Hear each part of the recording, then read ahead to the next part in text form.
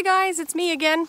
I just wanted to share a little bit about something that I've been doing today. So this morning was our office meeting and we worked on vision boards and surprisingly, I have never done a vision board before. I am big into affirmations and positive thinking, but I have never actually completed one. So as an office, we did that today and I loved it. So something really cool about vision boards is it doesn't always have to be just about money.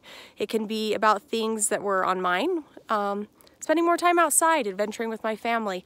Um, all of those kinds of fun things can also be on there that are going to move you towards a better future. And it's all about positive thoughts. And one of the things that one of the agents in our office shared with us, thanks Debbie, um, is this really cool app, which I will share with you as well, that is all about the vision board.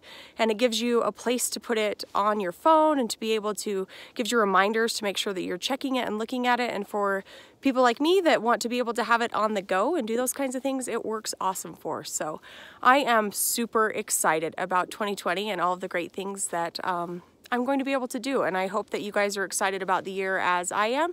And I would love to hear from you about things that you do or maybe some ideas that you have about vision boarding and planning and goal setting. And I love all of that and would love to hear from you. So check out the app, create a vision board.